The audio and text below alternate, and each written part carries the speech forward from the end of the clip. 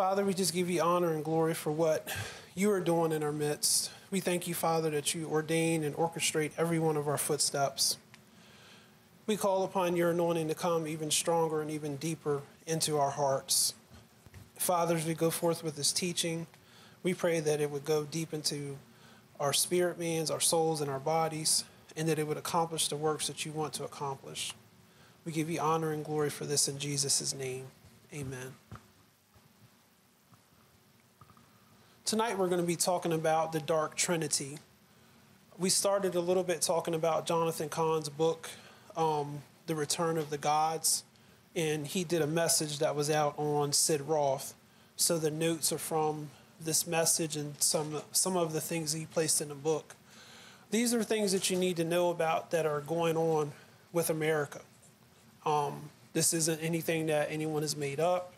These are realities that we're dealing with.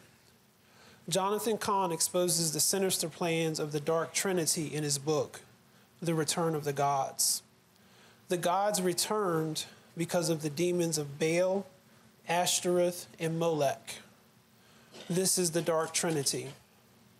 Gods were all over the ancient world. The Bible says that behind the gods in the Hebrew scripture was something called the Shadim. Shadim comes from the Hebrew root word shud, which means to act violently, to lay waste, to devastate, that which brings destruction. In ancient Babylonian writings, the word shadim or shadu speaks of spirits, protective or malevolent. Malevolent means bad. A malevolent spirit would lay waste and devastate and bring destruction. When ancient Jewish scholars rendered the Hebrew Bible into Greek in a translation known as the Septuagint, they had to find the right word in Greek to stand for shadim. The word they used could refer to a spirit, a principality, an occult entity, a god. The word was daimonium. It is from this that we get the word demon, a malevolent or evil spirit. In the Jewish world, the Shadim are demonic spirits. Deuteronomy 32 17, they sacrificed to demons, not to God, to gods they did not know, to new gods, new arrivals that your fathers did not fear. Psalms 106, 36 to 37. They served their idols, which became a snare to them. They even sacrificed their sons and their daughters to demons. In the New Testament, Paul says behind the gods are things being called the daimonia. We get the word demon from it, so these are spirits. These are not just figments of people's imagination, they are real beings filled with purpose of destroying anything that is godly. And so the thing is that back then, if all of these cultures were given to the gods, it means they were given to these spirits. It means they were possessed. It means Western civilization was possessed by those spirits. But now, what happens is the Messiah comes into the world, and with him comes power over the spirits. And this is an interesting perspective. The Messiah comes and drives the spirits out of the world, therefore, pushing the gods back into extinction. When Jesus' gospel goes into the Roman Empire and the Western civilization, it starts ending the existence of the gods.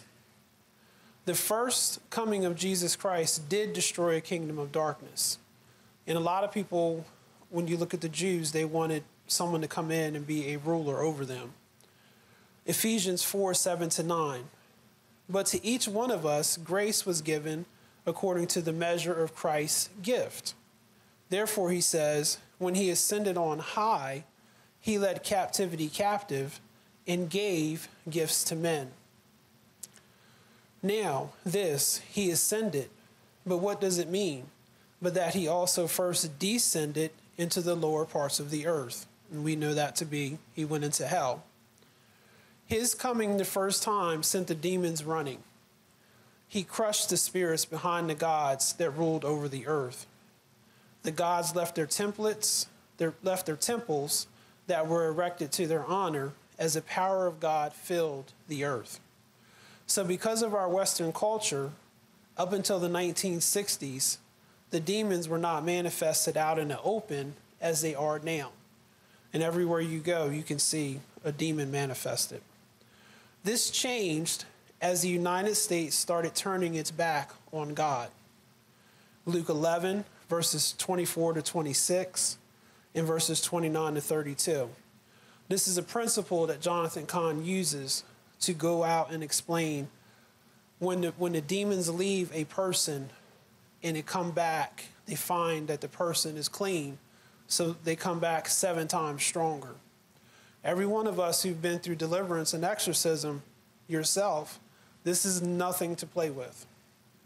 You know, we, we tell you all the time when you sit in that chair or when the Lord starts working on you in service, you need to stay clean. You need to stay pure. Because if not, they're going to come back stronger.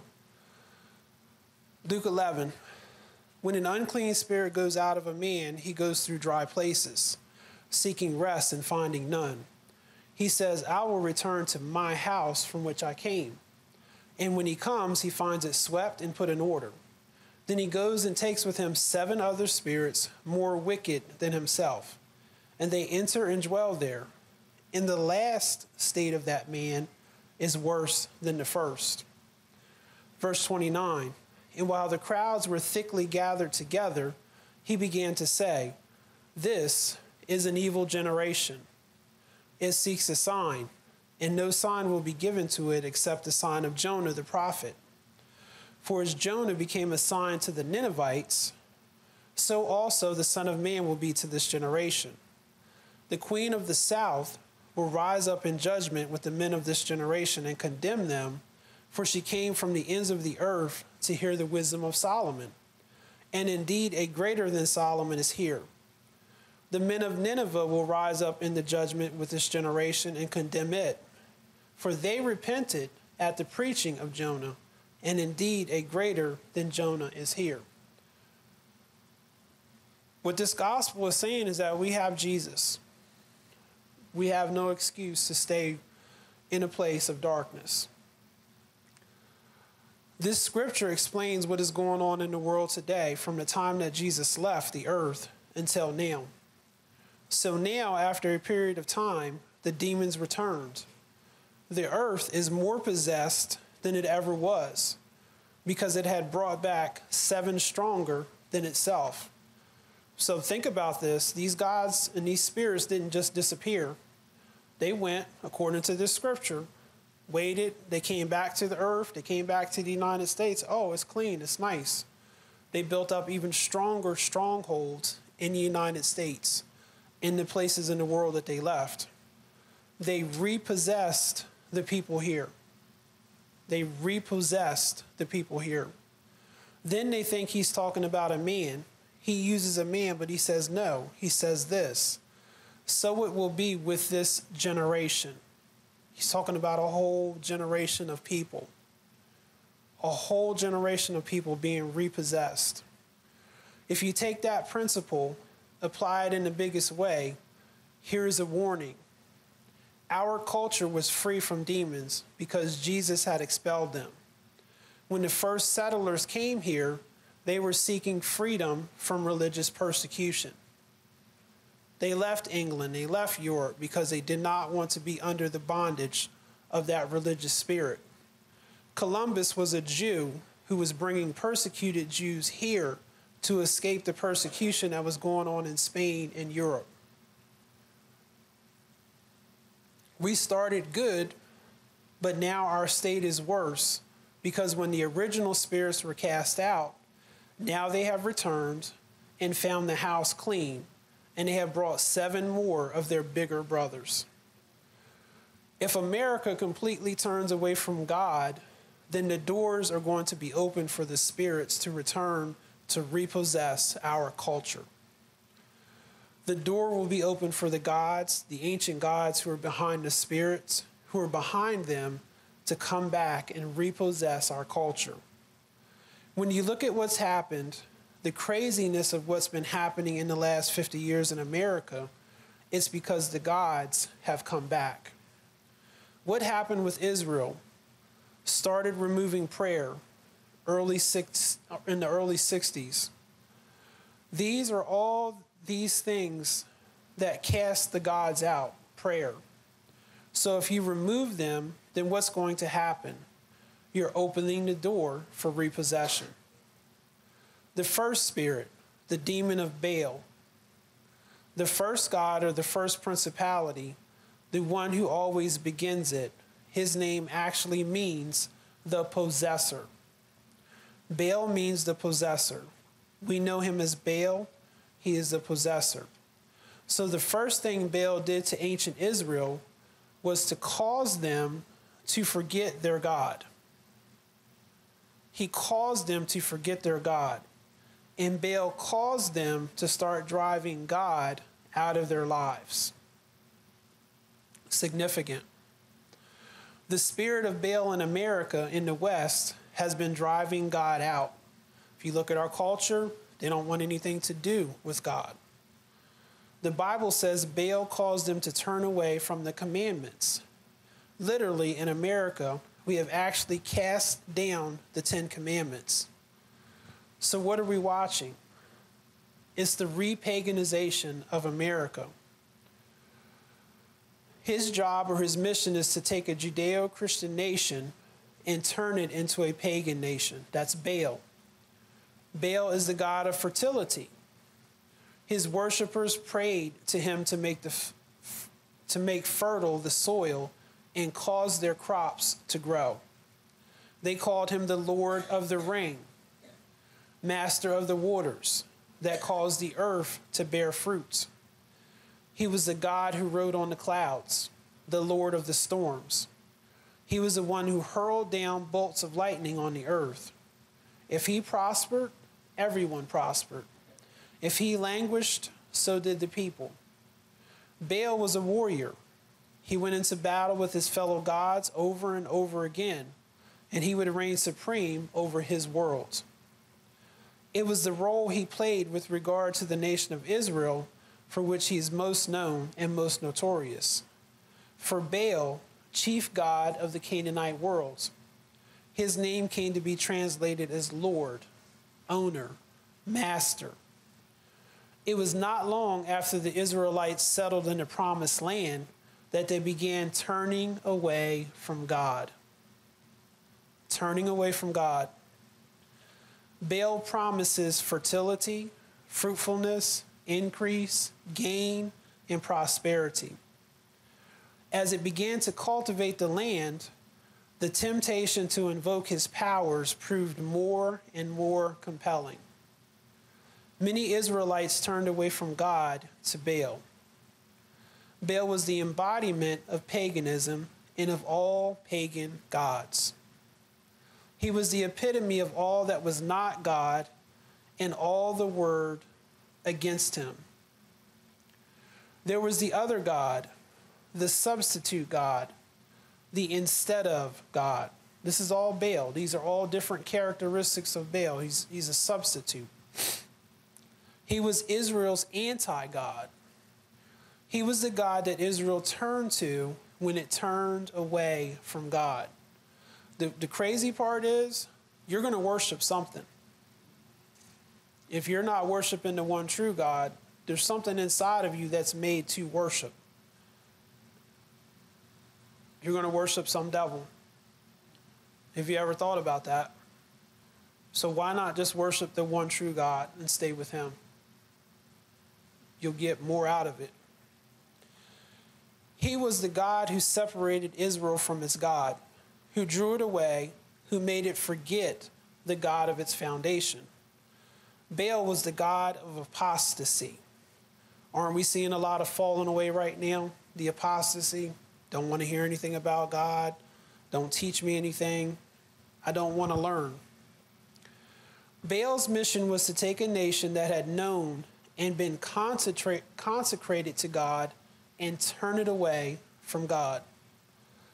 In the mid 20th century, America was decidedly Christian or Judeo Christian. Listen to this It stood in clear opposition to Marxist the ideology and the atheism of the Soviet Russia and communist China. This is what America used to be. It was a nation in which the majority of those on the political left and right saw themselves as sincere followers of Jesus or God, and in which politicians would freely cite God and Christian values in their public discourse. This is what we used to have. This is what used to be. America in the mid 20th century was a nation in which children were not only allowed to pray in public schools, but actually led in prayer by their teachers. Where teachers read the Word of God in their classrooms, and it was in America that declared itself one nation under God. This is where Baal came into play. The mission of Baal is to cause the nation that is known by God to stop knowing him and then to forget him. Baal caused Israel to forget God by the end of the process. It can no longer remember or imagine what it was like to have known him. So when Baal returns to the modern world, his mission was the same to cause America and the West to forget its God. Though the seeds of America's turning from God can be found in earlier days, it will become most noticeable in the 60s when America removed prayer from school.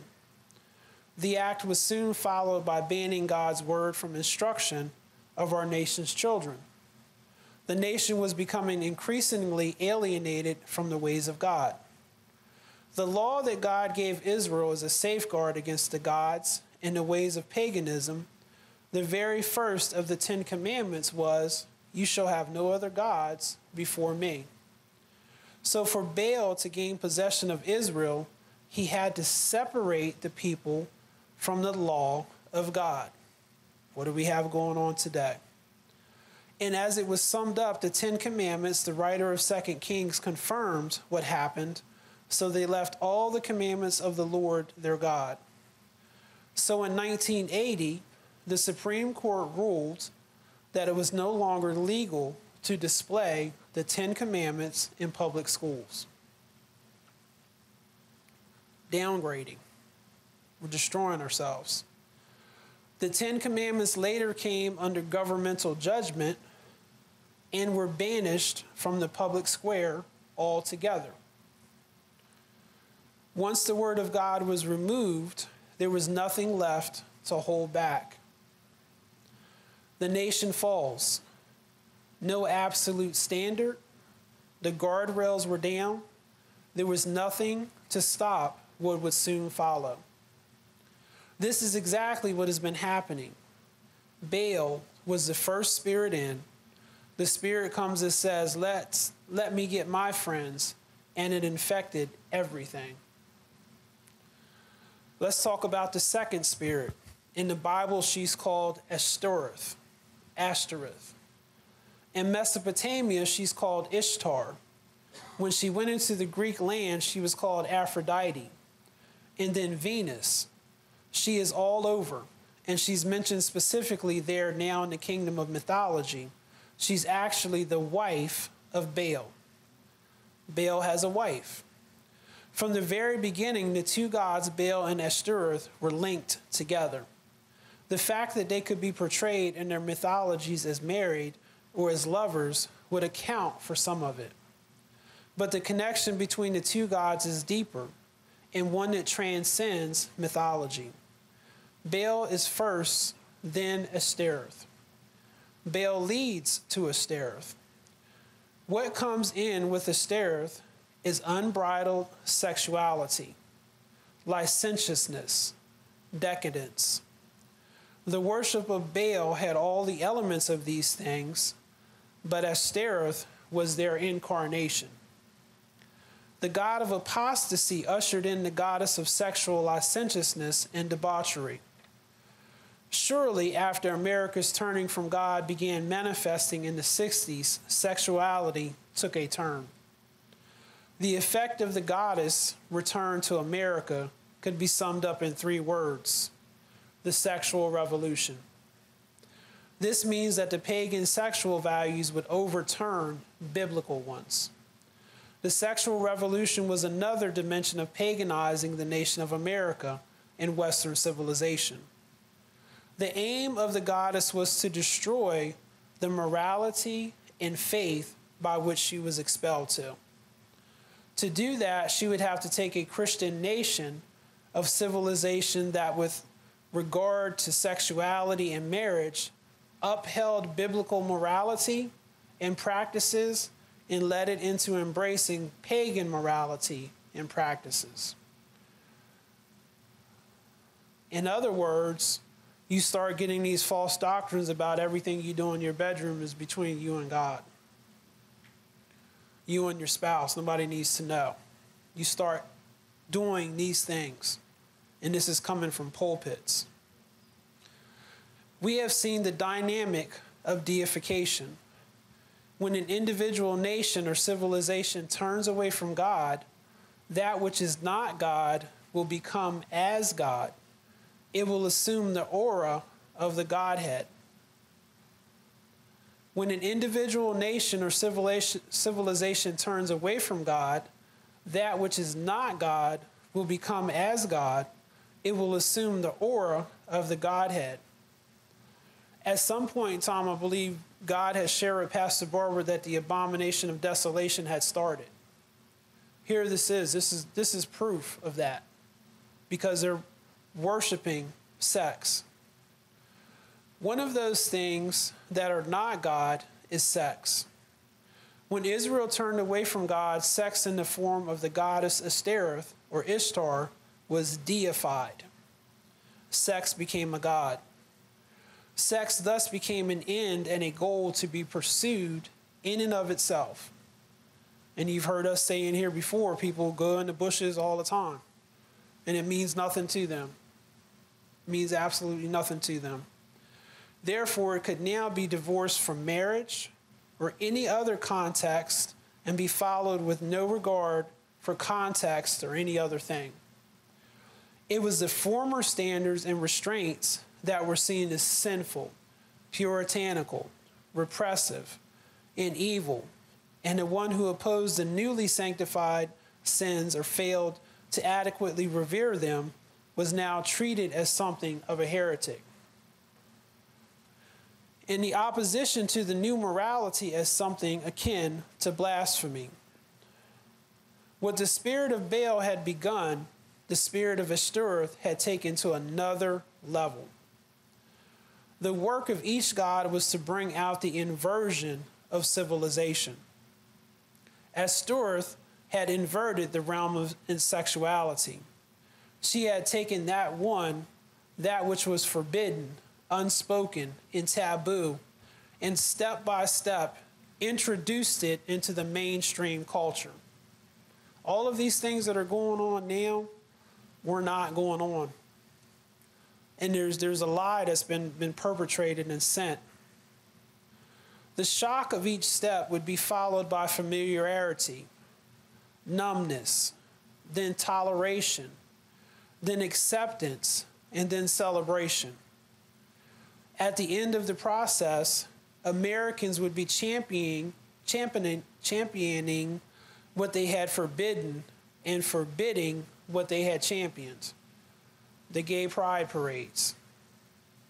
All of that stuff is out in the open and is, is promoted, celebrated, and it's all because of Ashtoreth. At the end of the process, Americans would be championing what they had forbidden and forbidding what they had championed. As an enchantress, Ashtoreth tempted, allured, and captivated. She calls her followers to abandon reason in rationality. That was deep. Abandon reason and rationality to do what they otherwise would never have done. We have people doing things with animals that should not be done. Shouldn't be done. She cast spells. She worked magic. Thus, her ability to seduce was all the more potent. There was another form of intoxication that so dramatically exploded in American and Western culture that it would in part defile, defined the 1960s. That is of the drugs. Mind altering drugs or psychedelic drugs radically altered perception, thinking, and behavior. The state of intoxication and altered consciousness was now glorified as an ideal to be sought after. All people wanted to do was to get into this altered state and stay in that state. Stay high, stay out of reality. And so when Baal comes, the next one to come, it says in the Bible, says Baal, then it says Ashtoreth, then she's coming in. So with this, what this means is once the door is open, she is the goddess of sexuality, of sexual immorality. She's actually called a prostitute. She is a goddess who her temples were filled with sexuality. It was made public, so if she returns, what would happen? If she comes in, it means that America's going to undergo a sexual revolution. These are things that have already taken place. That is the sign of the possession of Ishtar, or this goddess. And the thing is, what she did, what a prosecutor is, she actually damages marriage. She actually weakens marriage. That's what happens. Bring sexuality into the culture. In ancient times in Israel, the Middle East, she put her images of naked people all over the culture. And that's what happened.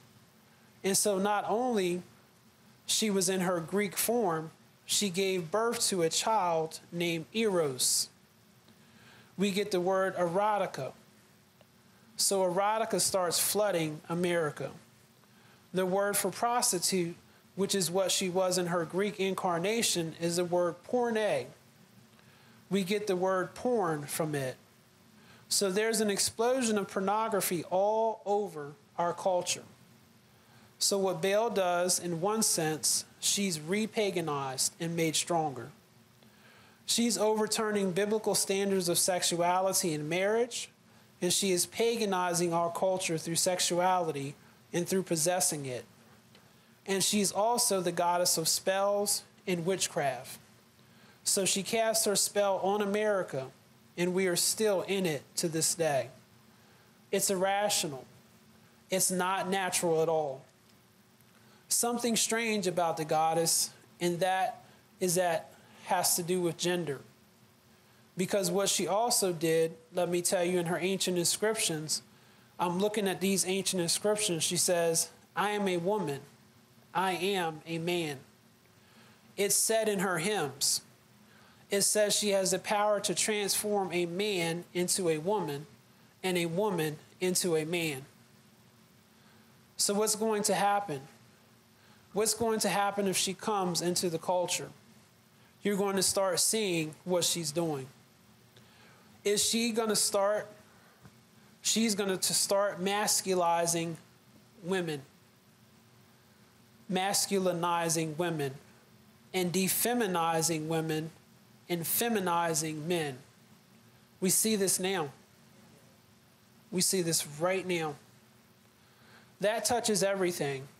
I mean, touches our culture, touches the roles, touches radical feminism and sexuality. And so, all this stuff around saying, How could this happen? This is all the goddess, it's all there.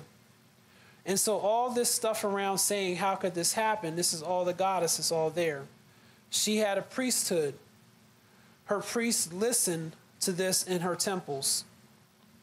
They were men who were dressed up as women and they acted as women. Dress up. So, what's going to happen if she comes back? What's going to happen is, as she possesses a culture, is that men will start dressing. We'll start seeing that in our culture, which we do. These are her ancient priesthood. They were involved in same sex sexuality. We see the explosion as well. Also, it says, remember, she turns men into women, transitions them and women into men. her priests, many of her priests were actually surgically altered. She caused them to be surgically altered. What's going on now? They're trying to get people to do this. They're trying to get our young children confused and messed up. This is Ashtoreth under the influence of Baal. We do it more sophisticated now, today, and that is that the goddess was in charge. He was a goddess of parades. She had parades happening all over. And when I looked at the ancient inscriptions of the parades, it describes them and says in the parades, the men would dress up as women. We've seen this. In the parades, the women would dress as men. It would be a parade of gender bending. And that's exactly what, when you see this happening now, that's the sign of the goddess. Yes, this blew me away. Since these things happened, there has been three landmark cases that have to do with gender and all these things, same sex and marriage. The first one was in 2003. It had to do with legalizing. It happened in the month, the ancient month of Tammuz. That's the lover of Ishtar, that's her month. That's her month. It happened at the exact time. It happened at the exact date of the goddess. The next one happened in 2013. They struck down the Defense of Marriage Act. That happened the same month, the same exact day of the month of the goddess, the time of the summer solstice. All these pagan things. The last one, which struck down marriage, we all remember that, that happened. The month of the goddess, days of the goddess, same time, same date, June 26th. And Sid, remember when marriage was changed? Remember when that happened? We all remember it. That night, all of America, rainbows appeared. And one of them appeared on the White House. Remember that? Well, that night on the ancient calendar, I looked this up, was the night that is appointed the 10th of Tammuz, appointed to cast a spell to cause a man to love a man. On that day, it was all determined by the mystery of the God. Well, America is the head of nations right now. Whatever happens to America is going to touch the world. And America, I think America said, was founded after the pattern of ancient Israel from the beginning for the Puritans. So it's been blessed as Israel was, but the warning even goes back to John Winthrop, the Puritan. He said, if you ever turn away, if we turn away and go after the gods, then the curses that came on Israel are coming on us. You know, the great people of God, they always dealt with, they dealt with God. Moses, Elijah were in the same boat right now. The apostles. Let me give you an example just to give you how it's beyond everything, what we just spoke about in the last part. This whole thing about gender. Spirit number three, the destroyer. The other one, the God who comes in here at the end, this is the destroyer. We know him as Molech. And that is, he causes Israel to actually lift up their own children on altars and kill them. What are we doing with the abortions? In some, some states, it's infanticide because they're allowing the women to kill their children after they've been born.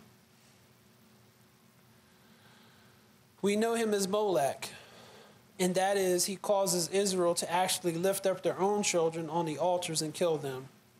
Well, that's a pagan thing. We say never in America, but the warning is if America turns away from God, Molech's coming, and we're going to start offering up our children. So that's exactly what happened starting in the late 60s, early 70s. Just when this just when this one God leads to the next the ancient tablets of Moloch is that they also particularly lift up the sacrificed, the poor children.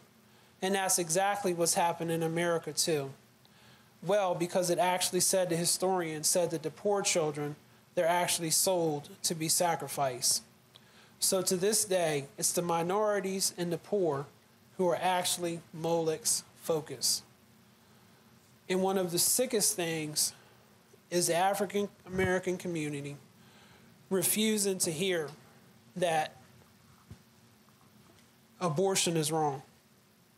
The African American church refusing to hear that abortion is wrong because women have a right to choose in their eyes.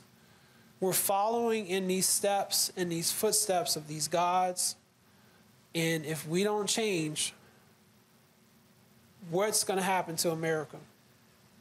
What's going to happen to our country? Three spirits that we're dealing with that are brought in ultimate destruction to the United States. Saints, we cannot ignore what is going on. We can't pretend that it's not happening because it is. It really is. In the church, some people in the church get it, but some people in the church refuse to get it. They don't want to hear it. They, they would rather keep their head in the sand and pretend that it's not going on. But we're losing people. People are dying. People are going to hell because we're not speaking up and we're not doing what's right according to God's eyes about this. Father, I just thank you for everything that Jonathan Cahn brought out. I thank you for him exposing the darkness that is in America. We pray, Father God, that you would lead, God, and direct us as to what our part is in this hour and how we need to bring this to an end in America. We pray for revival. We pray for a change of hearts. We pray for true repentance to take place amongst the leaders and amongst the people. And God, we thank you for letting it start with us and letting us become the people that you need us to be to carry your light into this dark, dark world. What I'm hearing is that the Lord wants to give you a brighter light today so that you can take that light out into the darkness and to destroy the works of the enemy with truth. As you come to the altar, ask the Lord to take that light and make it brighter.